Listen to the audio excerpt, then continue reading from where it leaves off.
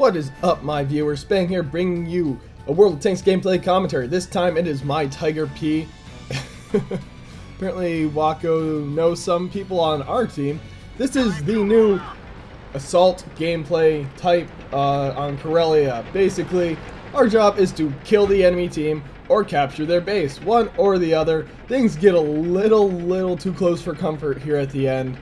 Um, and I'm not going to spoil it. I'll let you see what happens. Now, I'm to say right off the bat, this IS, I don't know exactly what's going on with him. Uh, nor do I know later what's going on with the 3601H. But they both act very stiff and suspicious.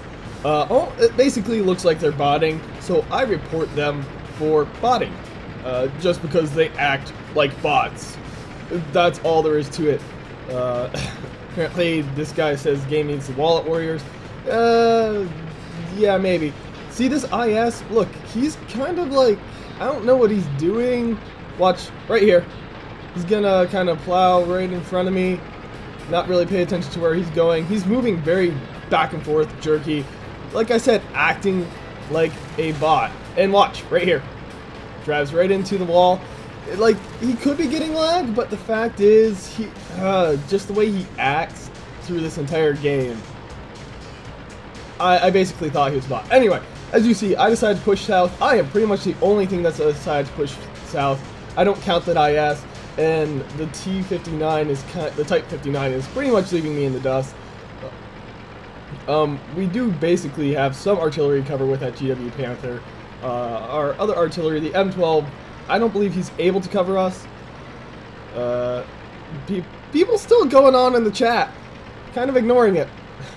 our Type 59 getting hurt a lot right off the bat. I got a KV-3 over there, a uh, T25-2, and a Type 59 up there. So I'm going to back up to a more defensible position here. I'm tempted to go all the way back, but then I say, no, this rock is good enough. Type 59, kind of uh, going at it with the other Type 59. They're both kind of... I'm going to help them out here a little. T25-2 taking a shot on my side armor and getting right through that. Our team basically telling our tanks on the ridge to get off the ridge. It Yes, that can help, but in the grand scheme of things, most of the time, it doesn't. Unless you're a tank destroyer, you should not be on that ridge. Um, even then, it's very iffy. You probably shouldn't be on it for too much. So I'm going to help with this Type 59 some more. See right here, this IS driving right by me, grinding up right against me. Um, just kind of doing his own thing. Not, I don't even know what he's doing right now, turning like that. And he basically just gets himself killed. That Type 59 killing our Type 59, and I almost kill him, but um, not quite. I was hoping he won't be able to go in that corner, and so RIS is dead, providing me some cover, actually. T25 slash 2, right there, taking a free shot at him. 3601H, sitting right there, taking shots like an idiot, turning like that, like, that's what I mean by stiff movements. I think he's a bot. So we have another Type 59 here, a 25 slash 2, and I know that KV3 is right there. So at this point, I'm a little concerned. There's basically four tanks over here, and yeah, sure, one of them's very close to death, uh, but still, that's four tanks. That's four shots I can't take and survive unless I bounce them.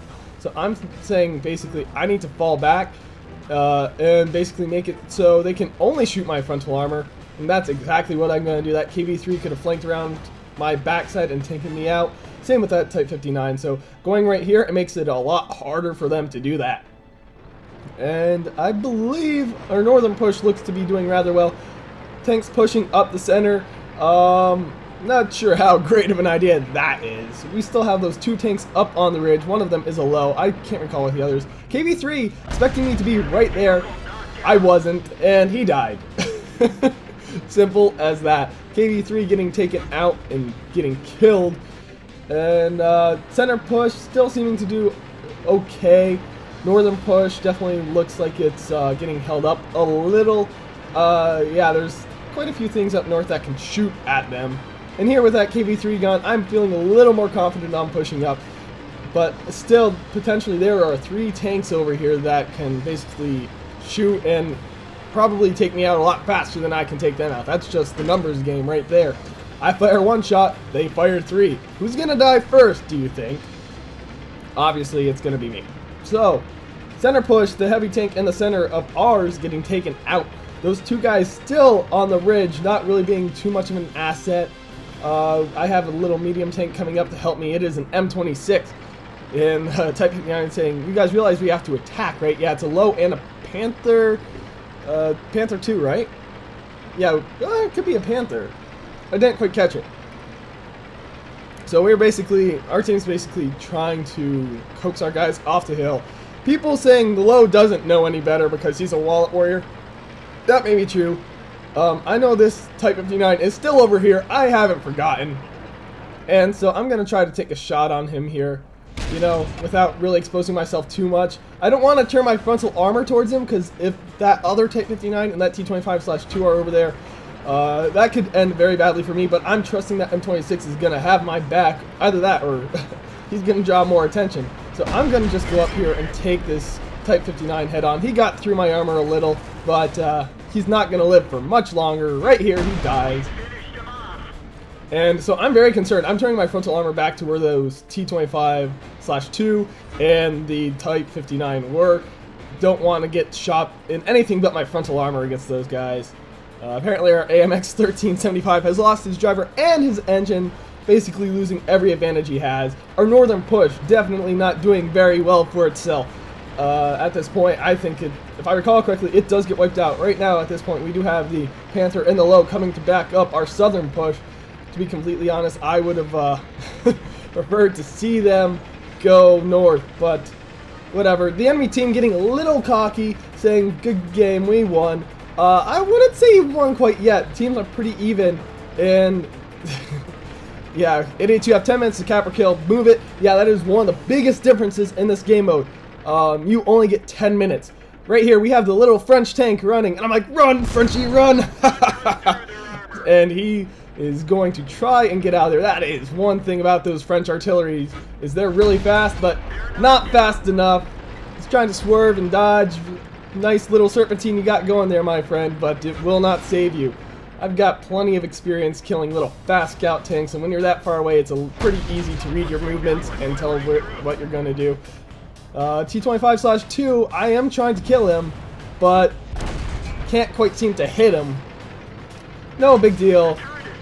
Oh man, T M18 jamming my turret at this point. I I believe I kind of make a fool's decision right here, and I will repair my turret. Um, Type 59 right on my side, trying to keep my frontal armor mostly angled towards him. And right here, bouncing a shell from that T28. And that is no small feat. Uh, no, actually, that must have been the M18, because the T-28 just rocked my world a little. Type 59, trying to shoot me a little, but, you know, it's one of those things right here. I am very near death. Anything shoots me, and I am dead. If I don't balance it anyway. So I'm going to take a shot where that Type 59 was. Swing and a miss. T-28 getting killed by our artillery. Thank you uh, very much. That was pretty much the biggest threat to my armor.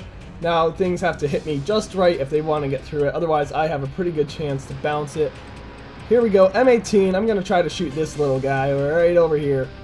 And I do believe I get a hit. Yes, I do. I believe that's the last hit I get. Uh, as you can see, down to the wire at this point. We have one minute left. One minute and 15 seconds left. GW Panther, again, killing that M18. GW Panther really pulling it for himself. Your Tiger P was afraid of me. Um, little... Yeah, you're saying I was afraid of you. No, I was afraid of the three, four tanks that I would have had to fight at the same time. The Type 59 killing me. And he's saying I was afraid to engage him. I was afraid of getting outnumbered and flanked. Uh, I was not afraid of his individual little tank there. Our team, capturing the base with this many tanks on base, we could win it. The last tank alive, yeah, I was afraid of the possibility of fighting three tanks with no backup, and I was the only one there. Uh, tried to let him know, hey, don't get too full of yourself there, buddy. You didn't really do all that much. It was your team. And right here, we do have a chance. Right now, we can cap this and win this. But wait for it. Wait for it. Oh, look.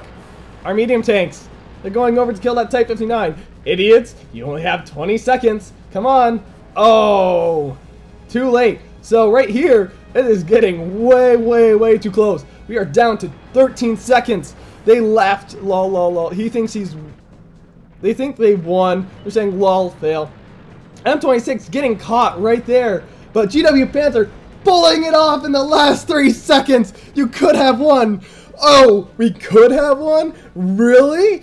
Oh, I'm sorry. I wasn't aware we lost. Oh, wait, we didn't.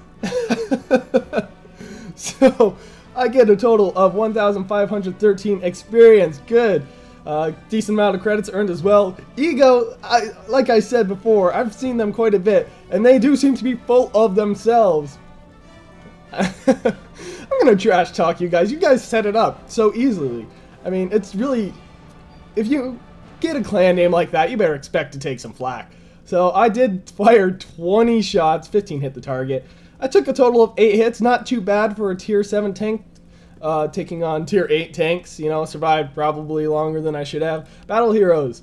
Uh, one guy on our Löwe did can get, get Confederate. So the Löwe, people might have said he was being useless on that hill. Apparently not so much. He did get Confederate. So in terms of what he actually did, I can't really say.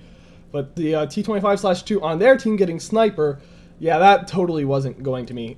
But as you can see, very, very close match. Uh, way too close for comfort. I think they should have stayed on the cap and gone with a more solid strategy rather than risk it.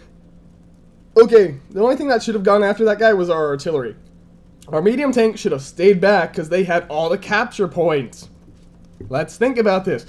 Don't get greedy please. You, we could have easily lost this. This could have easily gone sideways and ended in a loss.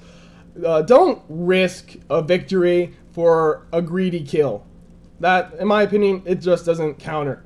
Uh, it doesn't balance right. Because you fail, you lose. Whereas the other one is a guaranteed victory. Anyway, if you like this video, click that like button. If you want to see more, subscribe. If you have a replay, send us to bangreplays at gmail.com.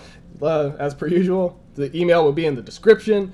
And uh, this has been Spang, and you can suck it!